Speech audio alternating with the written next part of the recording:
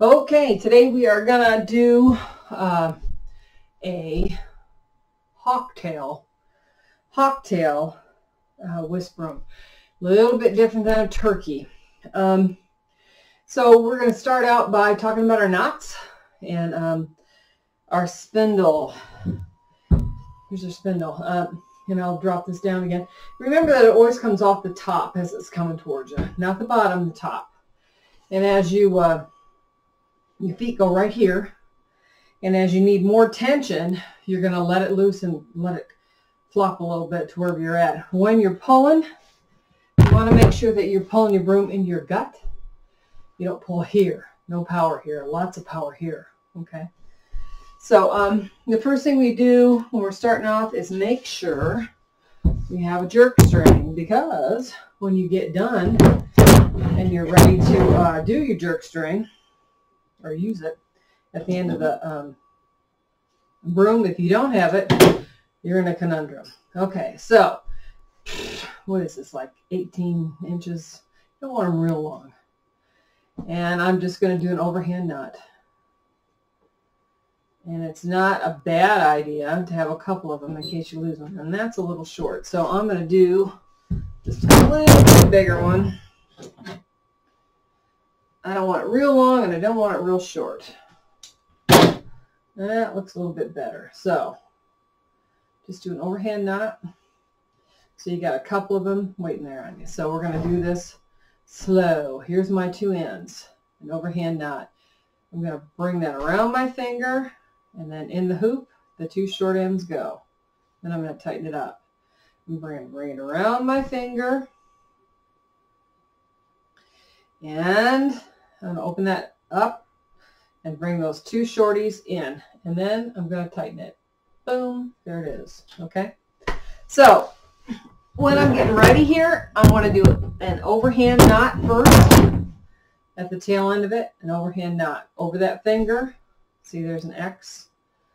And then I'm just going to tuck the shorty tail in the hoop and tighten it up. And the reason that you do that is so it won't slip. Okay, so then we do the cool we want it to slide on the long piece uh, knot.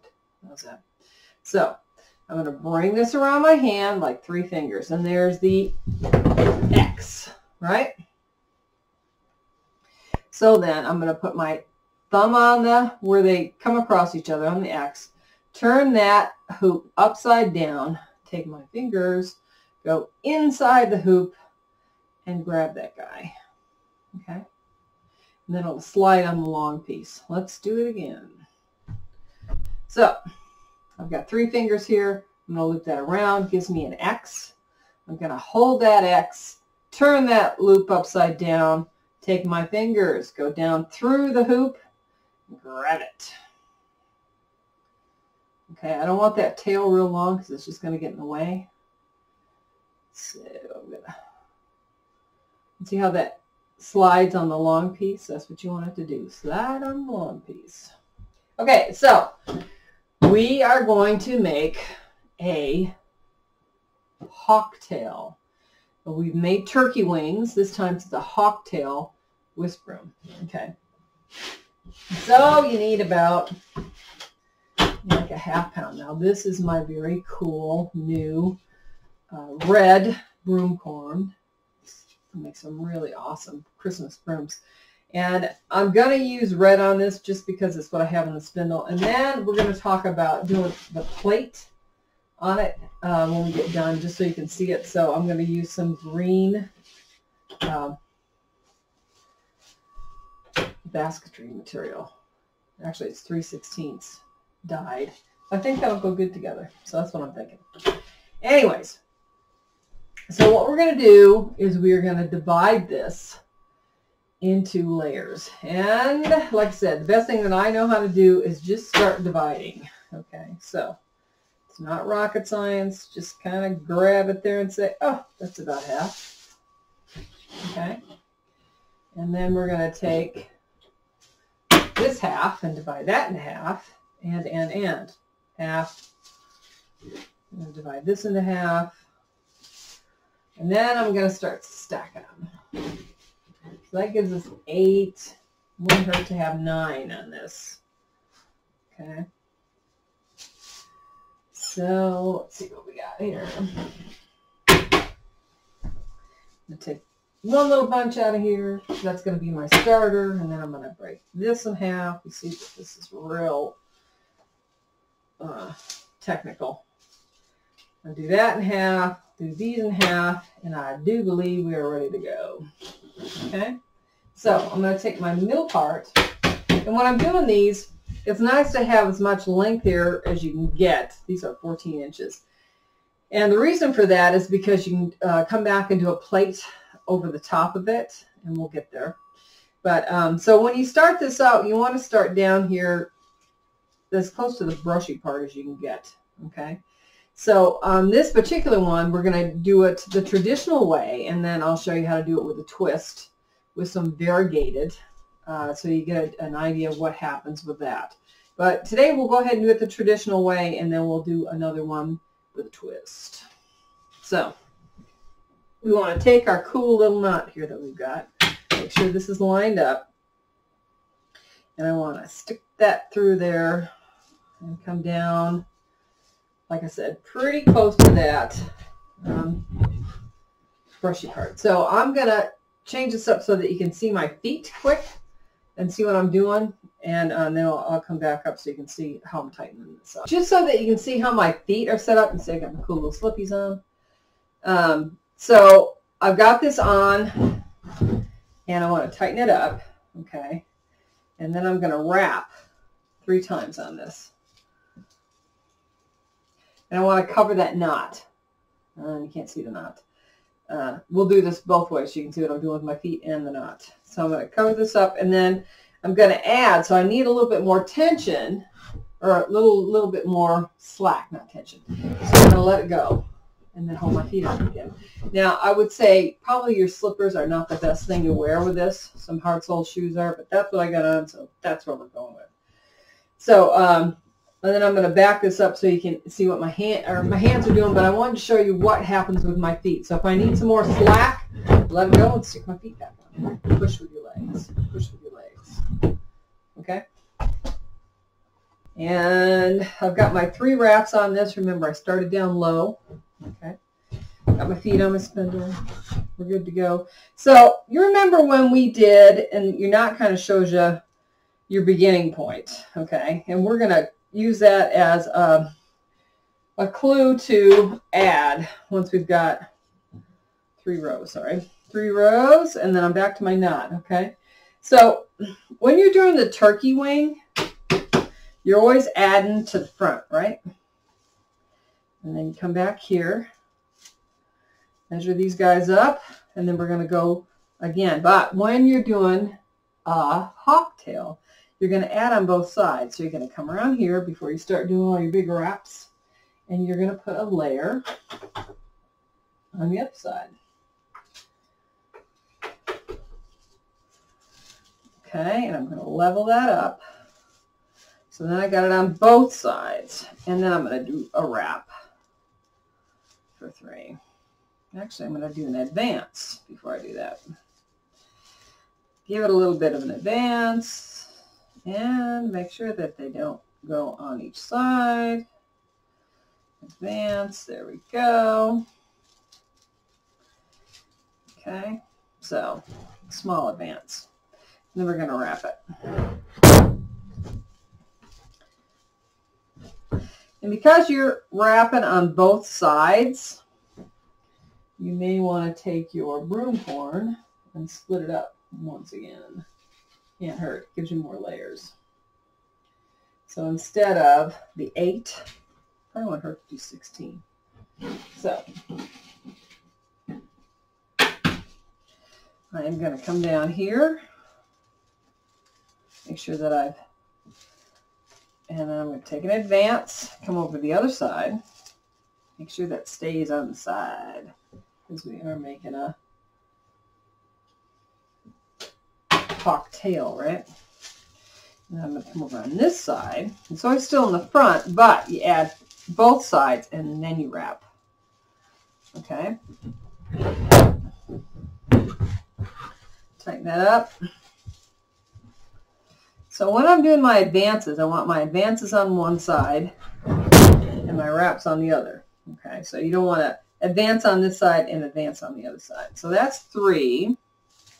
Gives me four. So uh, I think I'll do an advance here. So,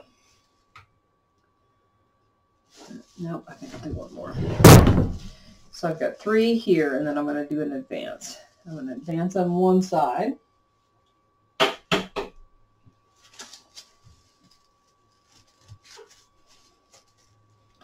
Hold that, turn it over the other side.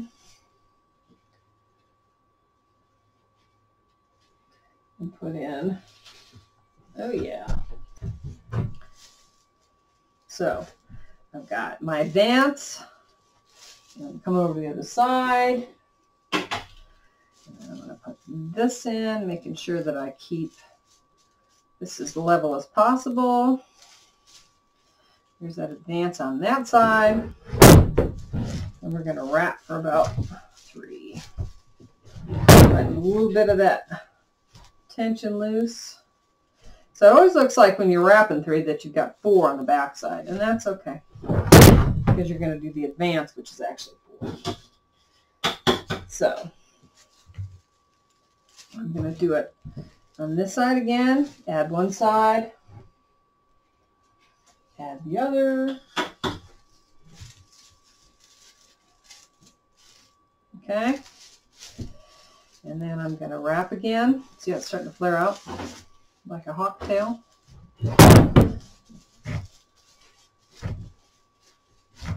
it's a, uh, when you're doing this, it's a real wrap and pull type of thing. So I got four wraps here, which means I'm going to put a couple more on the other sides. And these weave up pretty quick. So I'm going to do an advance on this side. There's my advance side. Trying to keep that level. Come out a little bit with your advance, hold it with your thumb, and put that other side on.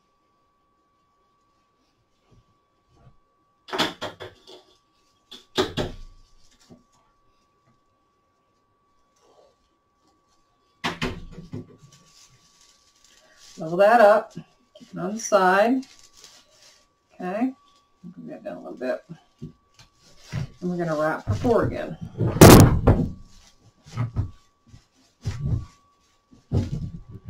This probably would have been more, you know, more outstanding if I would have changed my string to green so you got some contrast. But for today, this will work. Okay, so once again, I'm going to put it on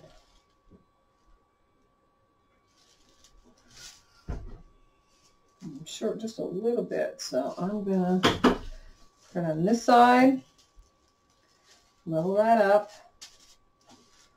do my advance, turn it over.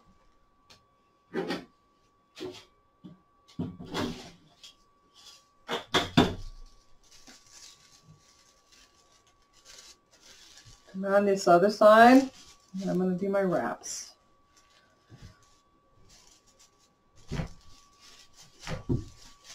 About four. Okay, so you can see how that flares out. A lovely little hawktail broom. Now, it really doesn't matter. If you want your hawktail broom to show on this side, that's great. If you'd rather, you'd see the advances on that side, that's cool too. It's really a personal choice how you set it up. Okay, so what I'm going to do is I'm going to just advance up, up to here on this one. And then I'm going to show you how to plate it and bring it back down. And you can see the dyes coming off on my hands. Okay. So that's the end of my adding. So I'm just going to... One thing you want to make sure of too, that when you're tying on broom cord and you're stretching it in, you should be like close to your gut when you're pulling. You don't want to be, um, you don't want to be down here. That gets old quick. You don't want to be up here. Remember your power is in your gut. if you were driving a team of horses, you would not be driving up here. You'd always have the reins into your gut because that's where your power is. So you can always check all them old westerns. If you see them going, oh, and the reins are way up there, they're not driving them. This is from an old mule skinner. Okay.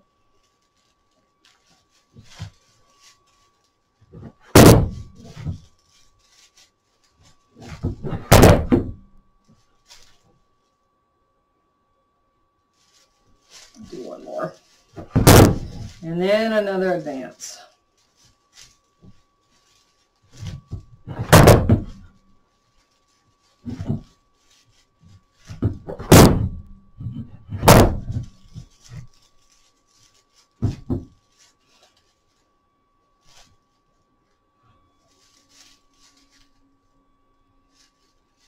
Do one more time. And then we'll do the advance.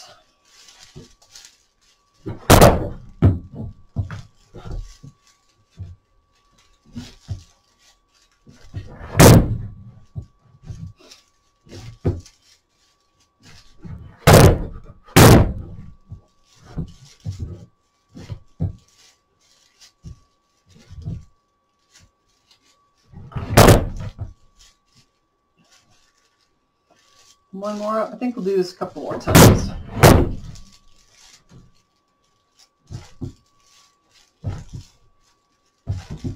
Make sure that's good and tight. Make sure all my advances are on one side, my wraps are on the other.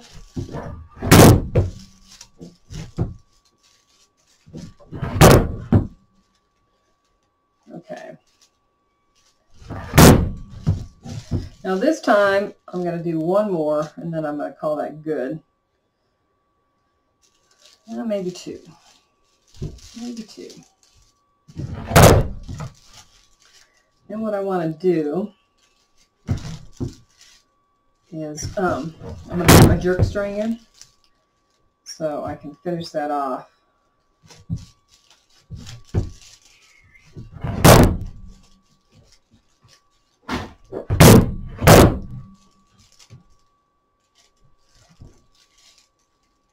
Okay, so this is going to be the last one that I'm going to do. So I'm right-handed, which means the knot needs to be on the right-hand side here, so that when I pull it, it pulls the string through and it doesn't hang up on the knot. So whichever way you are handed. So I'm going to do my advance. And I want the knot on this side, I think. I'm going to call this the back side. Actually, doesn't really matter at this point, but it's going to get covered up. So I'm going to put my jerk string in. Here's my advance.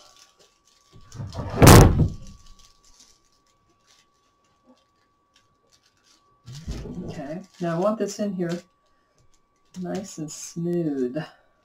Okay, and I'm going to wrap around for about four or five times.